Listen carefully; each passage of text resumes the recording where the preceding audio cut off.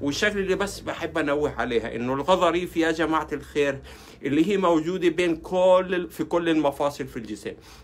الجسم كله حركته كله بتعتمد على المفاصل وبتعتمد على تركيبة المفصل هذا اللي هو بتكون من الغضروف ومن العظام ومن الأربطة. فهاي الثلاث شغلات الرئيسية اللي ممكن يصير فيها خلل وهذا ممكن يؤدي لعدم عمل المفصل بالطريقة الصحيحة.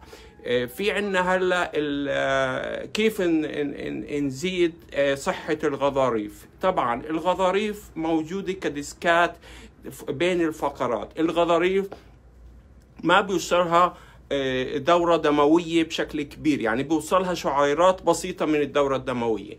الغضاريف بتعتمد على التغذية تاعتها. الغضاريف اللي هي زي خلايا بس بتكون صلبة شوية زي الاسفنج وهاي الخلايا موجود فيها سوائل كتيرة وبتكون فيها لزجة وممكن ضغطها وممكن آه، زيادة حجمها وبتتغذى وبتتغذى. يعني المواد الغذائية كيف بتدخل للغضاريف؟ عشان أنا أغذي الغضاريف هذه وأحسن من وضعها. الخاصية الوحيدة اللي بتدخل ال- المواد الغذائية والسوائل حوالين ال- ال- ال- ال- الغضروف هذا أو الاسفنجة إذا بدكم تشبهوها في الاسفنجة اللي هي عملية الضغط.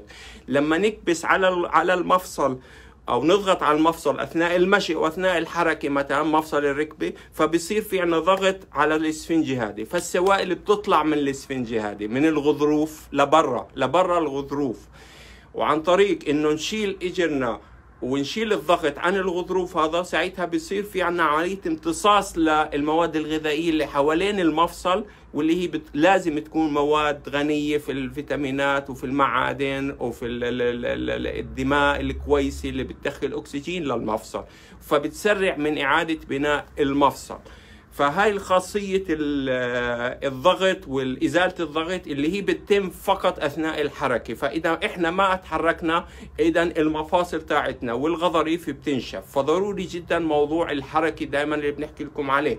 هلا تدخيل المواد الكويسة للغضاريف هذه اللي هي مثلا البصل ال- الثومي ال- ال- الكبريت عنصر الكبريت البقدونس آه، الزيوت آه، الك- ال- ال- الكزحة كويسة كتير زيت السمسم. كأكل أنا بنحكي عن الزيوت هذه كأكل أو كدهون إذا بندهنها على المنطقة هاي على المفصل المواد اللي موجودة في الزيوت هذه بتدخل عن طريق المسامات اللي موجودة في الجلد للأغشية اللي تحت الجلد للعضلات وبتكون آه، موجودة بشكل كبير آه، حوالين المفصل وهذا بعطيك تأثير مباشر على المفصل بشكل مباشر في تخفيف الألم وتوصيل مواد غذائية للمفصل وتنشيط المفصل ومنع التهابات كتيرة موجودة في المفصل. فيا بنحطه بطريقة مباشرة وبندهن وبنعمل مساج في, في الزيوت هذه اللي هي زيت زيتون زيت خروع زيت آه، كزحة زيت سمسم.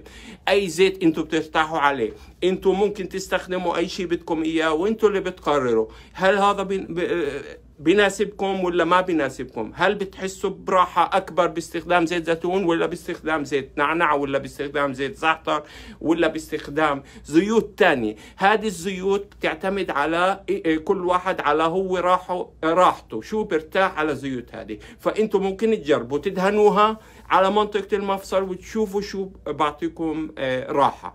الشغلة الثانية بعد ما نمسج وندهن في منطقة المفاصل اللي بتألمنا سواء في زيوت زيتون أو نعنع أو زعتر أو آه، زيت سمسم أو هاي الأمور ممكن إن نحط ال- ال- الضمادات حوالين المفصل هذا ونحط فيه المواد الطبيعية اللي ممكن تساعد المفصل هذا على الشفاء اللي هي ممكن نعمل خليط من البصل من الثوم ونحط شوية ملح وشوية زيت زيتون ونحطه في بشكير ونحطه مباشرة مع مي سخنة هيك يبقى سخن البشكير هذا أو ممكن نحطه في الم... نسخنه أو نحط عليه مي سخنة شوي ونلفه حوالين المفصل. وهذا بيساعدنا كتير على تخفيف الآلام لأنه المواد هاي اللي موجودة في الأعشاب هذه اللي بدنا نحطها أو في البصل أو في الثومة واللي هي ملفوفة في بشكير بمي سخنة هاي بنحطها مباشرة على المفصل نفسه. هذه المواد بتوصل بشكل مباشر جسم الإنسان وللمفصل عن طريق دخوله في مسامات الجلد وهذا بعطيك احمرار مباشر على المنطقة. معناته في دورة دموية صارت في منطقة المفصل سواء الركبة ولا الظهر ولا أي مفصل بدكم إياه في الجسم.